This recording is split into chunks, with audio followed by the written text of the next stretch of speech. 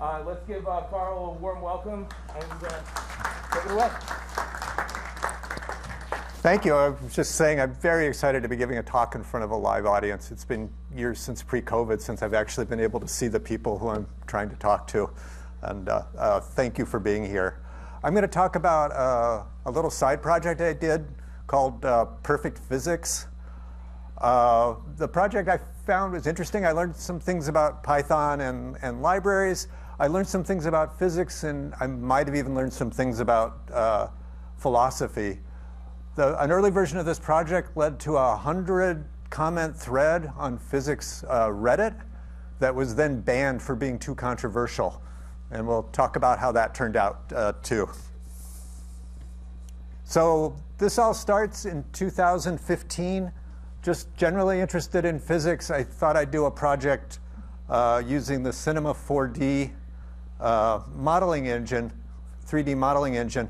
I wanted to do billiards, and the idea was the cue ball would hit the object balls, they'd separate, and then using what I think was a little Python script within Cinema 4D, I would reverse the direction of the balls. They would come together, reform the triangle, and shoot out the cue ball.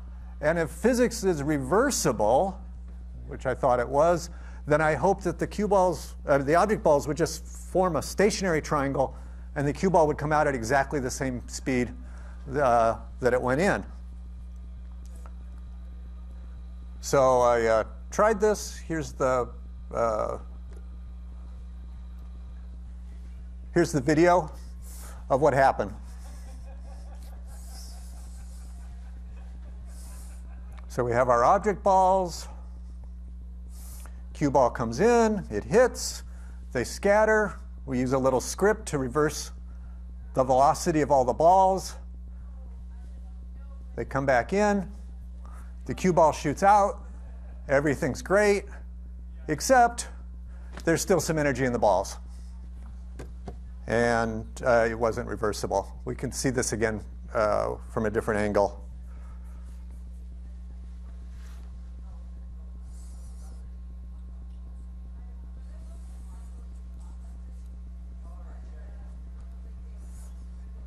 So does anybody have any ideas what went wrong?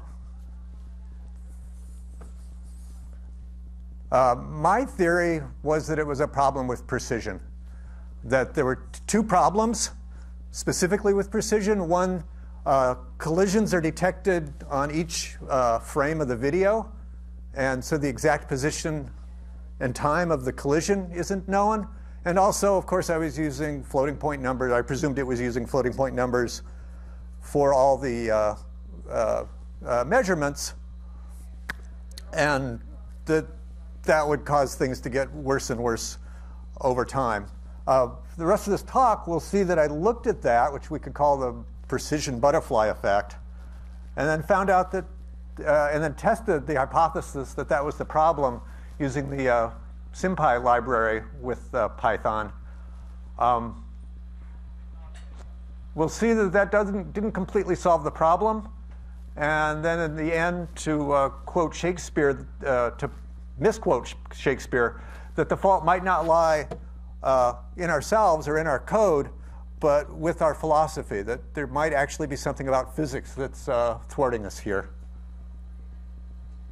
So going back to the hypothesis that it's a, a, a measurement problem, suppose the two balls, we have two balls and they're here, uh, and uh, we move forward one frame. They might be overlapping now. exactly where we detect that overlap and collision can change the angle between the two balls. And then we could imagine that that would, and that actually will, change the angle that the uh, ball uh, shoots out. Uh, another thing here is the red ball, the ball that was originally moving, was at minus 0.666666 when we started. After this collision, it's at minus 33333, not 3 or 4, but at seven. Just in the course of the collision, we've lost uh, one digit uh, of, of precision. And the butterfly effect is the idea that small differences can have big consequences as time goes forward. And it's a perfectly reasonable explanation for what the, what the problem was. So to test this, I wanted to do two things.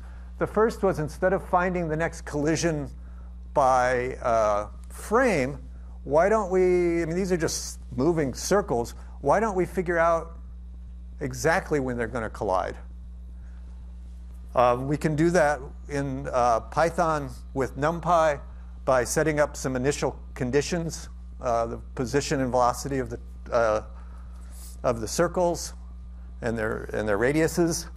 And then we can create a function that says the future x position of the first ball, ball A, is just the time times its velocity in the x uh, axis plus its current x coordinate, so on for the y coordinate, so on for the uh, second uh, circle, the B circle. Um, we need one more thing. How do we know when two circles are touching? Uh, in my case, the two circles have radius 1, so they're touching when their centers are exactly 2 apart. In general, two circles touch when their centers are the distance that's the sum of their uh, uh, radiuses uh, apart.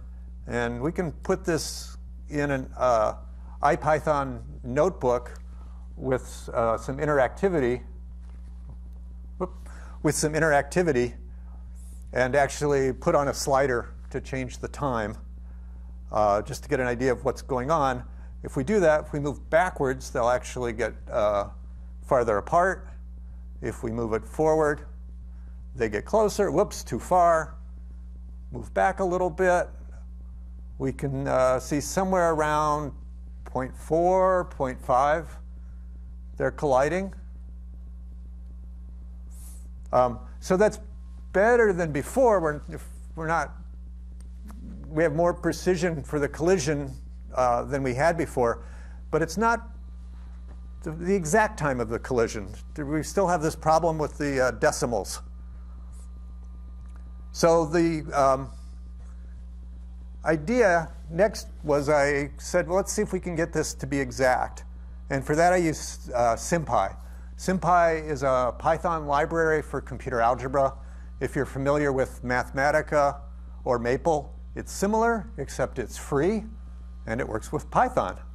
Works very nicely inside Python. So we can set up the same kind of things we had on the previous slide that were numeric, and uh, we can make them, uh, we can uh, do them symbolically and get an exact answer for when, for example, the two circles uh, collide. Uh, the way you use SymPy is first you define what your SymPy symbols were going to are, and that way they don't uh, get confused with the Python variables. And then you set up equations. The first four equations you see on the slide are just talking about how circles move. And then the fifth equation uh, is the thing that says we want the distance between the centers to be equal to the uh, sum of the radiuses, and that'll tell us that the two circles are touching exactly. And with SymPy, there's a function called uh, non-lin solve, because our fifth equation here is a nonlinear equation, and we just give it our equations, and we tell it the variables that we want it to solve for, time, and the four uh, numbers about the future position. And it takes, I forgot how long this takes, just a few seconds, I think. Uh, and it gives us a formula, and we can uh, find the formula for the time of the, of, of the collisions. Um, that's this, uh, does that show up? That's this big expression uh, on the right.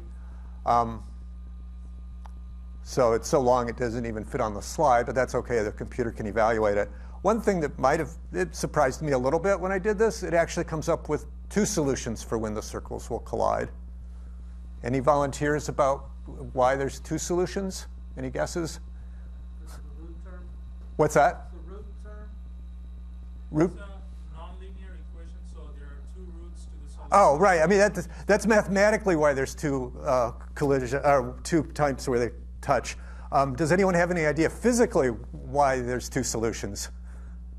pass, the, the balls pass through each other. So you have a first kiss and then you have a second kiss as they transpose. Exactly.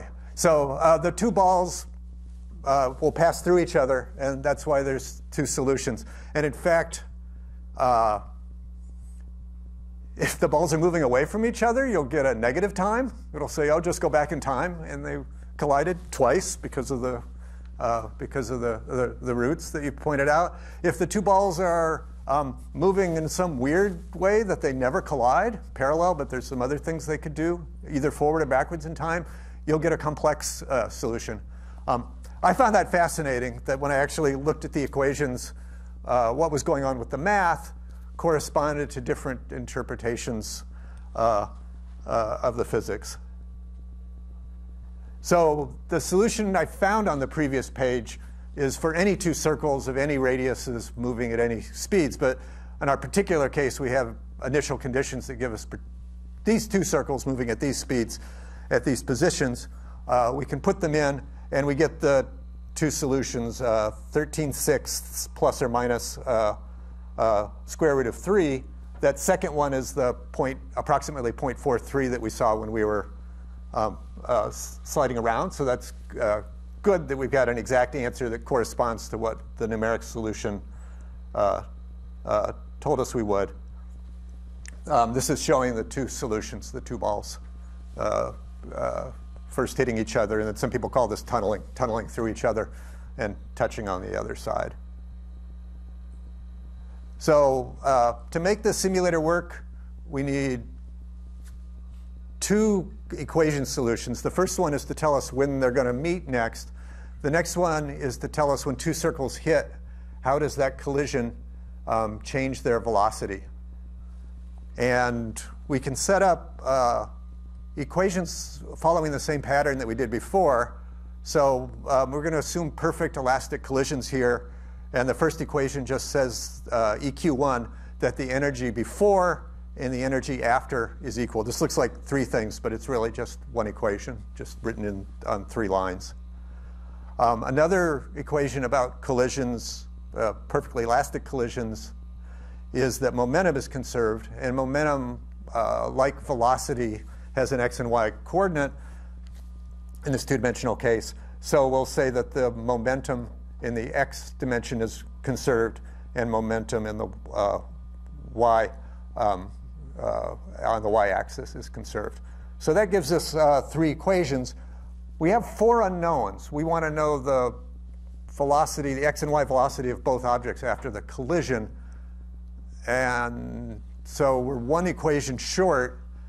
The final equation doesn't have a real name that I've found, but when circles collide, um, at the angle 90 degrees from their collision, they won't speed up or slow down. So I'm calling that conservation of glancing velocity. And it's specific to collisions between perfect circles.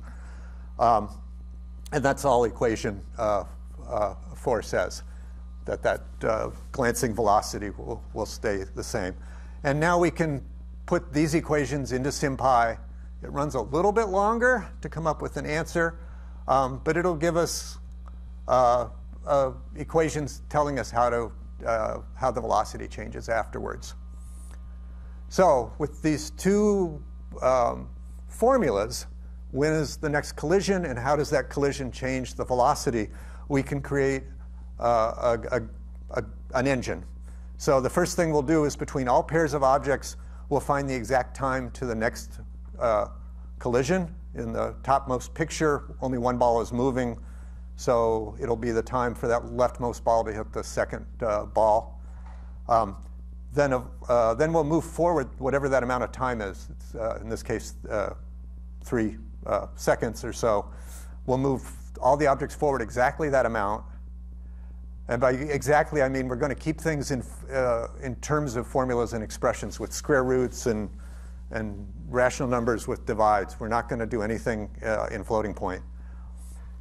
Uh, when we move all the objects forward, we're going to have at least one collision, but we might have more than one collision. In that case, and we'll come back to this, we're going to pick one of the colliding pairs and adjust its velocities exactly, and then we'll just loop. And the next collision that we we'll find the time to the next collision, that time might be zero, and we'll just uh, uh, keep repeating. So, yeah, please.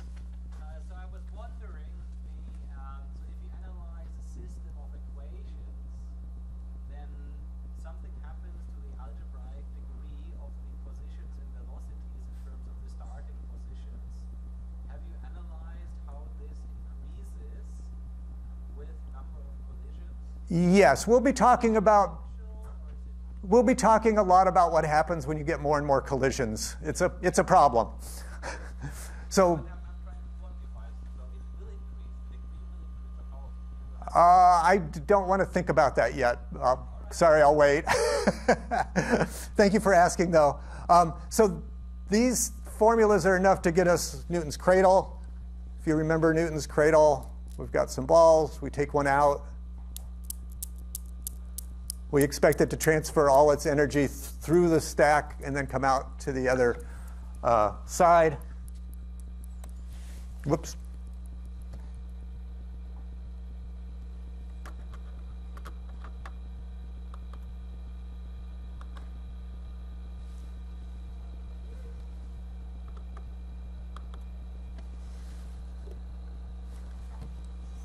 Oh, this isn't mic'd. It's too bad.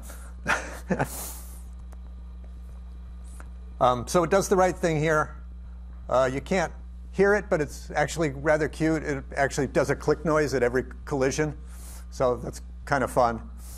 Um, this also lets us do the famous uh, tennis ball and basketball demo.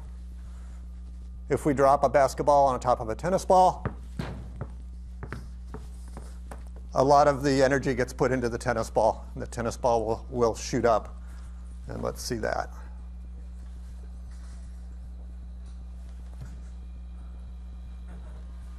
This is very fun with the clicks. It's going.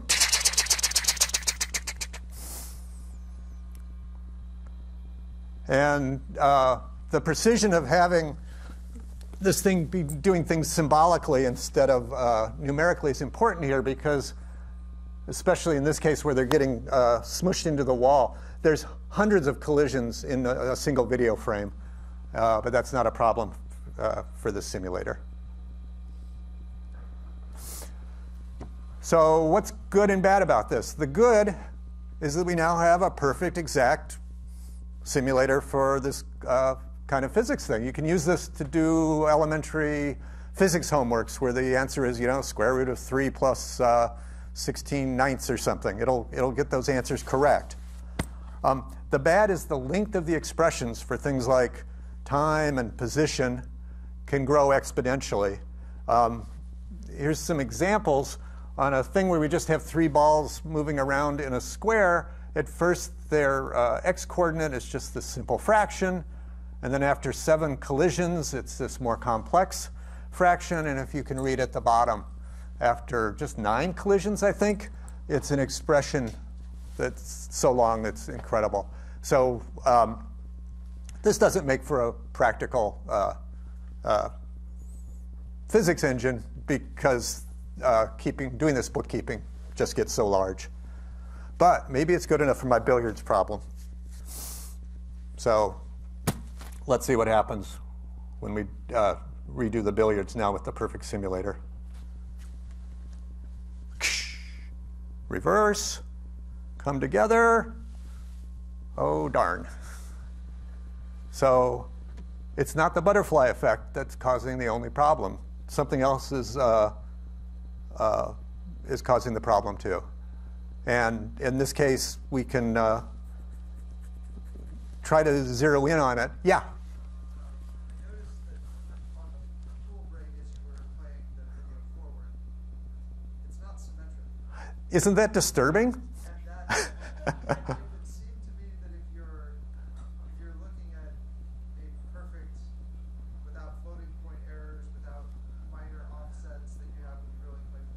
like that, your expectation is. That is correct. That is why my thread got banned from physics Reddit. the, the strike ball to be, you know, 0.00. No, no, the strike ball is completely hitting it straight on, completely hitting it straight on. Um, to dive into that, I have chosen to show a non-symmetric example first. So let's take a look at a non-symmetric example and see what's going on. Uh, we're going to have two different seeds because I said when there's multiple collisions at the same time, I pick a pair to uh, uh, change the velocities for first. So they collide, and depending on the random seed, either the two balls go out at almost the same speed or one ball zips off uh, uh, much faster. Let's see that again. Don't worry about them like looking like they're not touching. That's just a frame thing. It's calculating everything exactly. So why does it fail? Well, when there's three or more objects, and our formula only does two at a time, we have a question of what order do you analyze the collisions. I do what most game engines do, and they randomly pick among all the simultaneous collisions. Uh, but as you randomly pick different things, you're going to get uh, uh, different results. And on this simple uh, case with just three balls, one with a different mass, um, I'm not going to go through the physics here, but you can see it's just little fractions. If you've had first semester college physics or a year of high school physics, um, you can work this out. When the two things collide, if you do the assume the first one, if you analyze the first one first, then well, all the momentum gets converted to the second one. Well, anyway, uh, I said I wasn't going to go into it, but it's very simple calculations that, uh, uh, easy to see that doing the left collision or the right collision first will give you a, uh, will give you different answers. Um, here's a graph showing the balls where the balls move over time after the collision. So when, when the seed is zero, uh, its time is going uh, down the y-axis here. Um, they, they move according to the, the blue dots and, and lines. So the left ball is moving uh, the fastest, and the middle ball is uh, moving slower. In the, when the, we have the other seed, we get the red trajectory, and the two balls are moving almost, uh, uh, almost together. Let's zoom in on the leftmost ball.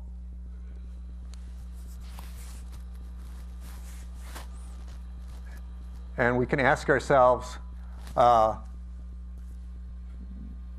if we believe that what it came up with was at least physically plausible, and we can go back to the equations of the collision and see that conservation and energy and glancing velocity are all uh, uh, conserved appropriately, are these the only two solutions um, that work?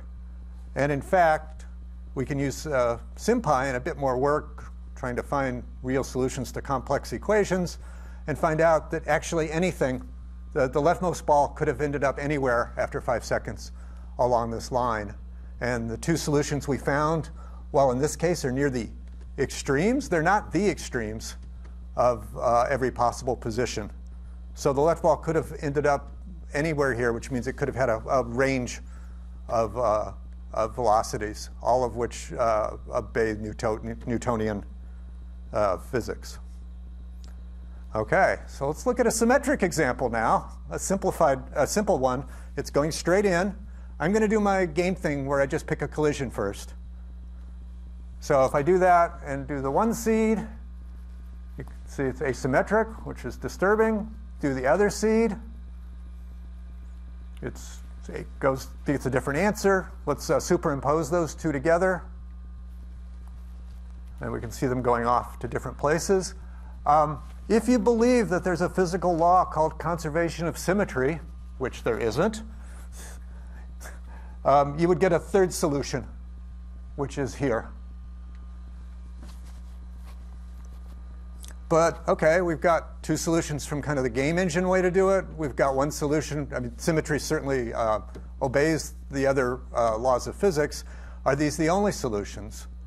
Well, again, using uh, Python and SymPy, we can find that there's actually, again, an infinite number of uh, solutions that obey the laws of Newtonian physics.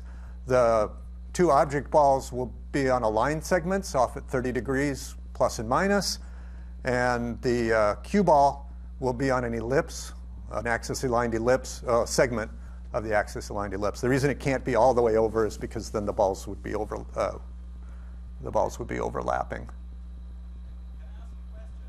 Yes, sorry.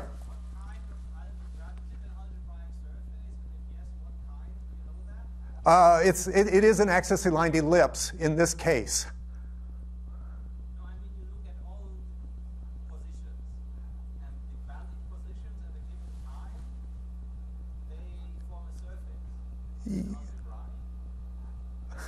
You may be asking questions beyond my mathematical ability to answer. I can say in, with these particular initial conditions, the velocity of the cue ball uh, all the solutions are on an ellipse, an axis-aligned ellipse. Uh, I mean, isn't the, I don't know. What's an axis-aligned ellipse with, with respect to an algebraic curve? I don't know.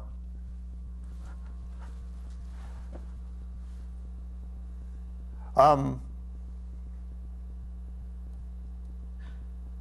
so this seems to teach us some things about uh, physics, that Newtonian collisions are non-deterministic, which uh, might be outrageous, uh, often with an infinite number of possible outcomes.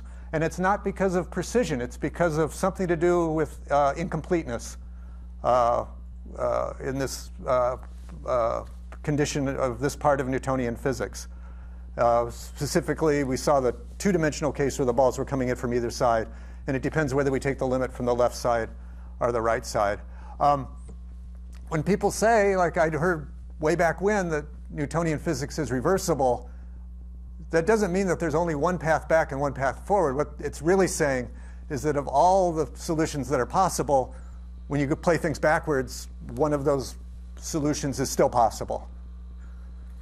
So if you make, in terms of kind of randomness, of if all the random choices you could make, if you're really lucky, you could uh, find it going backwards too.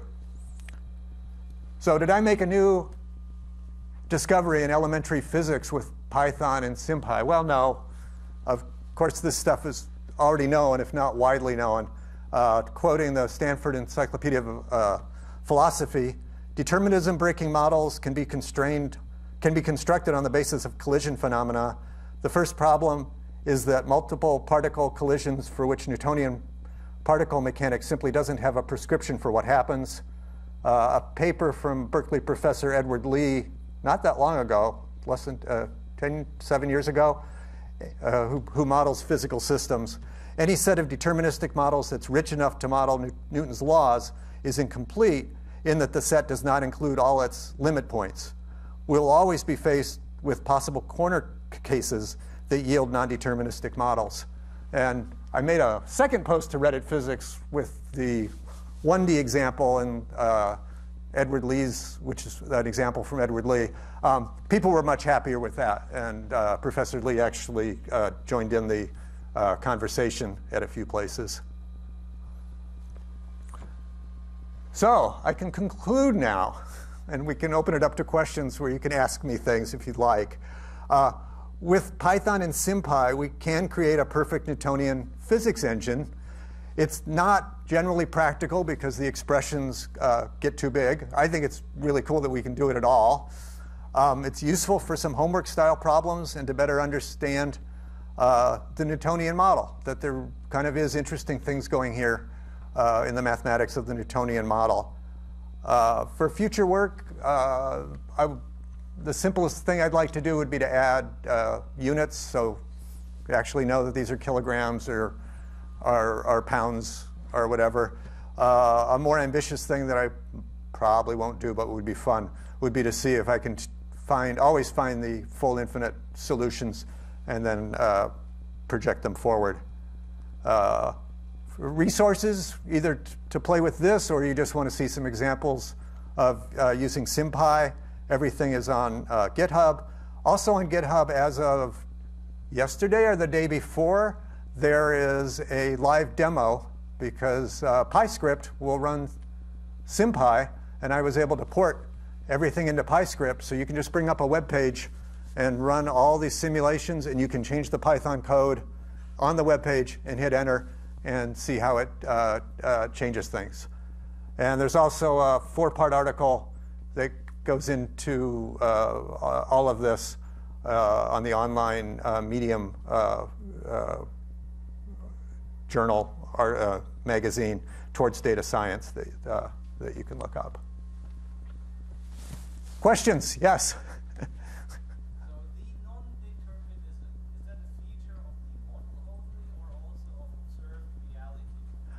Thank you for asking that question. The question is Is the non determinism a feature of the model or reality? And I'd say yes. it's a feature of Newtonian physics.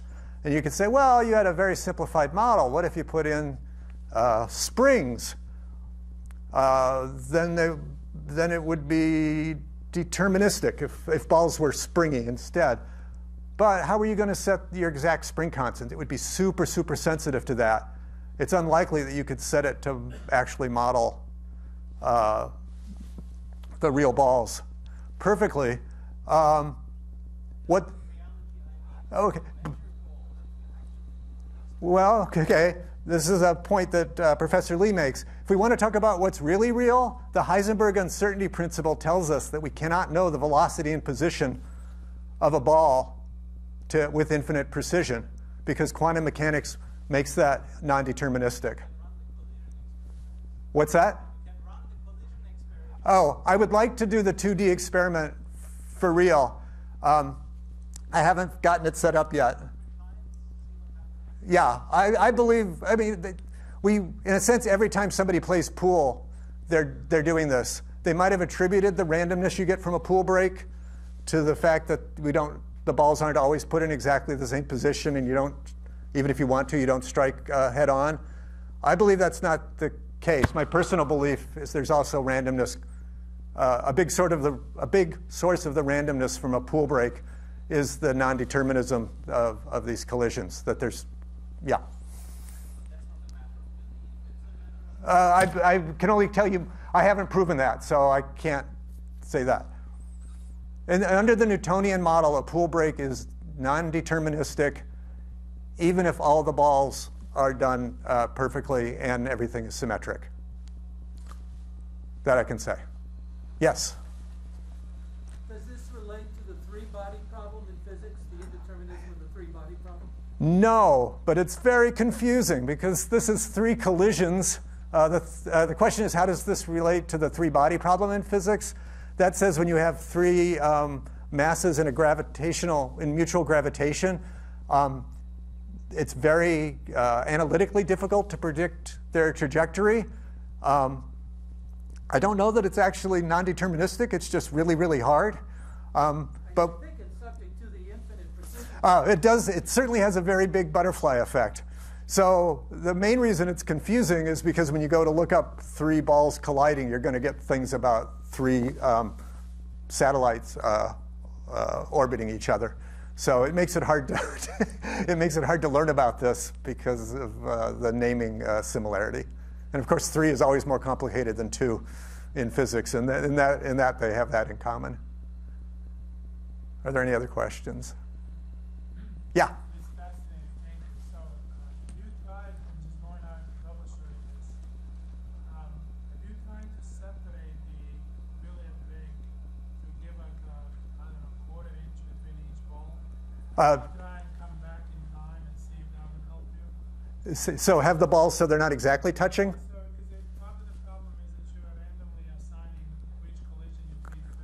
because I believe you are correct, and actually, uh, one of my friends who's here in the audience also suggested that. Um, so the suggestion is, what if the balls in the, the, pool break weren't actually touching? What if we just move them apart just a little bit? Um, would that make it so I could reverse everything? I think it would, except I can't do the experiment even on the computer. Uh, and the reason is, when, well, I, maybe I could. Um, when you separate them a little bit, um, you usually won't get any, any collisions of more than two things at a time going forward. And because of that, when you reverse time, there's only one way for things to come back, and things will reverse. But even when I moved them a smidgen and it was just like uh, three one hundredths up and down and stuff, kind of nice simple numbers, the expressions grew so fast um, that I couldn't run it for more than a few collisions. And with 10 balls plus the cue ball, uh, I just kind of like, oh, this is going to take, you know, an extra, twice as much time each time, and it's going to take longer than the uh, time of the universe to do 10 balls. I could probably do three balls, though, and I just haven't done it. And just like I'm uh, maybe implicitly saying, who cares about symmetry because most things in the world aren't symmetric, symmetric. Um, you could also argue who cares about things touching because most things in the world aren't literally uh, aren't literally touching, and and that would be fair. Any other questions? Okay, uh, thank you. Yeah. Oh, sorry. Oh, so not banned, just the thread was taken down as being too controversial. Um, I did the symmetric pool thing, and people were outraged that I didn't see that, that the symmetric solution was the obvious correct uh, solution. And after 100 comments, that got taken down. Uh, the one where everything was on 2D and started out asymmetric got 60 upvotes, and everybody was, was happy. So I can still post to Reddit, although I'm now being very careful about what I say and how I say it.